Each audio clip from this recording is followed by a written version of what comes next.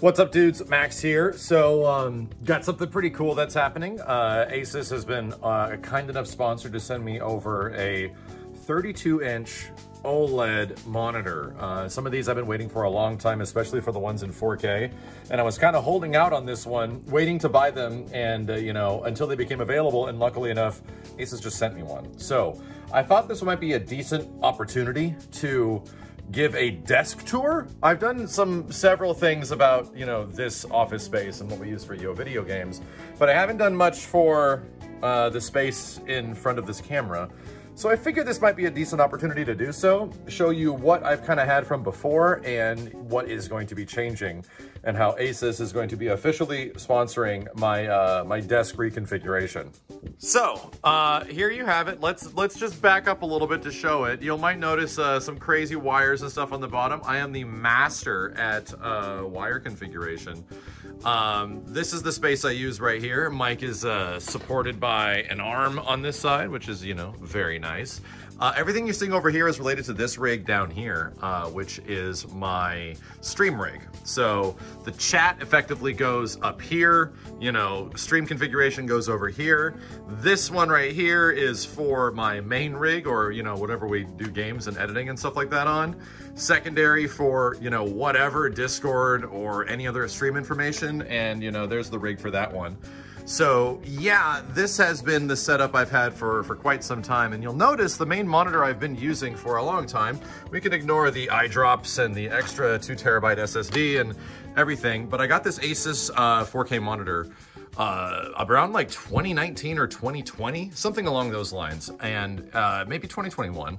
Um, but the idea was that I really wanted to get a monitor that upgraded to uh, 4K. This was the uh, the XG27U. Now, this isn't the monitor that they sent me recently. Uh, that's just the whole point of this upgrade. This monitor is a regular panel monitor. And the new ones that they sent out and made not that long ago are actually OLED monitors for like desktop and some of these have been popping up over some time over the past like couple of years but this is the first big one where it's like 4k high frame rate and oled which has me really excited so anyway you know what's next? I'm gonna have to pull this thing out of its clutches. I'm gonna get the monitor in here. I'm gonna make an update to the desk, try to clean things up a little bit, and then I'll be back to report uh, and show you all what a 32 inch monitor is gonna look like on this desk, and especially when it's an OLED.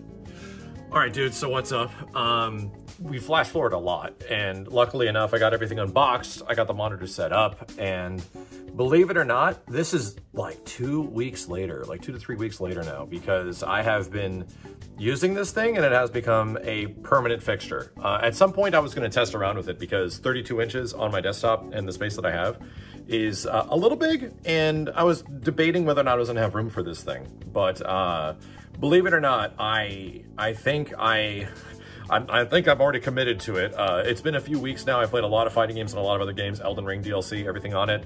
Yeah, I am going to be sticking with this 32-inch OLED as my permanent monitor. And there's a couple of good reasons for that. Again, this was replacing my classic Asus like 4K uh, 144 hertz monitor. Um, so let me just show you like what it looks like, even with a cell phone camera, because uh, it's it's pretty impressive. So here you have it, uh, replaced in the setup, you know, there's all of our, uh, you know, stuff that we had before. This is the 32 inch brand new Asus OLED. Jeez, man, from like every angle, I've not looked at it from this angle, but just to show you, uh, it's a little bright right now, you know, just in comparison of the, the setup that I got running over here. But for me personally, um, it's almost too bright. in, in situations where I'm in the daytime, I'll increase the brightness a little bit, but even if I go down here, right? I think I might even be at uh, 56 brightness and it can go up significantly higher than this. And now it is like extremely bright. I know there's a lot of concern from people uh, when it comes to some of these monitors that the nits or the brightness aren't specifically uh, that high, but no, it has not been an issue for me, especially, you know, even with all this lighting that I have, uh, you know, in front and behind me. This is what I primarily use to stream, uh, and it's a little bright, but this is uh, more than enough, and this is, in all honesty, way too bright. I'm gonna keep it this way. I'm gonna show you some fighting games just as an example, but I don't even run HDR with this monitor right now, and to be real, uh, the colors and the values have been extremely valuable because of the project that I've been working on. That project being uh, Marvel vs. Capcom Infinite and Beyond, which is a mod we're making for MVCI. And in that project, I'm like acting as many positions, but one of them is like an overall art director to for the visual style. And it has to be consistent throughout all of our other designers that are working on characters. So things like color is really important. And I have other monitors that I'm using, uh, you know, for this project and other rigs that are making stuff. And I've noticed like severe color value differences on some of those projects. So I am like always defaulting back to this monitor because whenever I do color testing, I, I just think the, the values of how colors are like effectively evaluated just look way better on this monitor. And uh, that's now become sort of the, the barometer of how I am treating things and how it's like, oh, well, now the default, the default de facto test of this entire thing is always gonna roll back to the Asus 32 inch like OLED. So it's, it's been kind of important for that and super helpful. Anyway, let's get some fighting games on this thing just so I can show you guys what it actually looks like. And uh, there you go. Geez, this is just the character select screen, dude. Oh my God. uh, you know, again, my, my phone is only doing so much work here, but uh, I think Glacius is a good example. Let's try Spinal. We got a couple of characters with some pretty great effects. Uh, I don't even know if this video is going to end up being in 4K. It definitely might, but yeah. So primarily I have been playing, let me turn this down a little bit. I have been playing, uh, for the most part, like a lot of Tekken. We've been playing some Street Fighter, quite a few other fighting games. I, I think personally, if you want something that is like the best example of showing off an OLED or so, in some way, uh, yeah, dude, Killer Instinct has like some of the best color pop. I don't even have it in HDR. Like I said, I can probably fire up, you know, the other uh, versions like the Xbox version to show it a little bit better. But still, like comparatively, how much the colors pop is kind of surprising. Now, there's a, huge thing when it comes to fighting game players, and it isn't just how good it looks, it's how good it performs. And again, I was really happy with my previous like five, six year old Asus 4K 144 hertz monitor. Um, and this one, I feel pretty much no difference. Uh, no discernible difference. It might be so minor in such a millisecond fashion that I don't even know. But when it comes to the actual performance of like inputs and screen responsiveness, I have completely adopted this and I haven't had any disparity between this monitor and my previous monitor, which I really liked.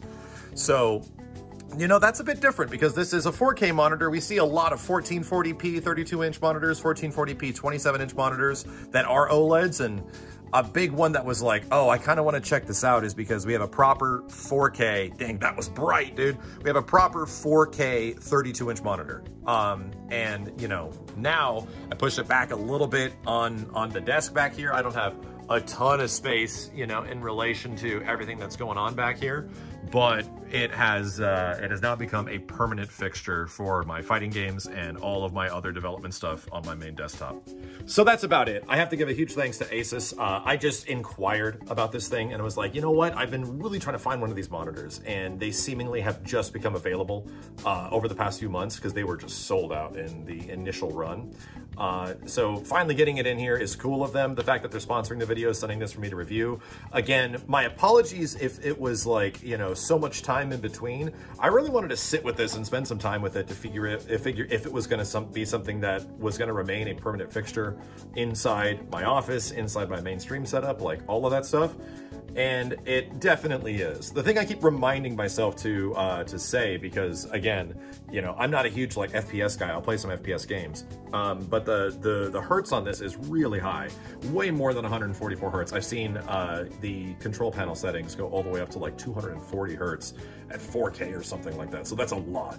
Uh, that's way more than I personally need. I think I keep my desktop and everything at about 120 hertz, and it feels great just in general. But uh, you know, fighting games and most fighting games that you play are going to be running at 60. So either way, a wide variety and a wide gamut of games that you can play on this thing. Uh, I highly recommend it. It's already gotten incredible reviews. Like I'm, I definitely am the kind of guy that does monitor stuff, uh, you know, and it's important to me because I can feel micro stutters and differences between monitors. I go to events and I'm just like, bro, I need the monitor for this TV. There is a problem. Let me fix it.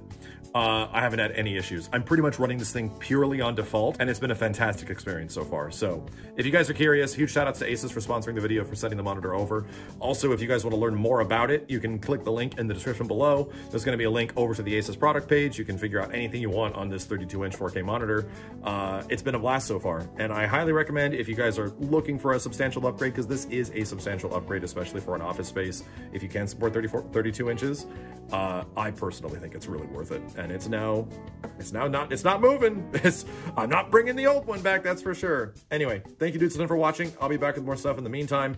I'm going to Evo right now, so there's going to be a lot of announcements and cool stuff that I'm going to get to play on this thing. I'm really looking forward to it. Have a good one, dudes, and I'll see you next time.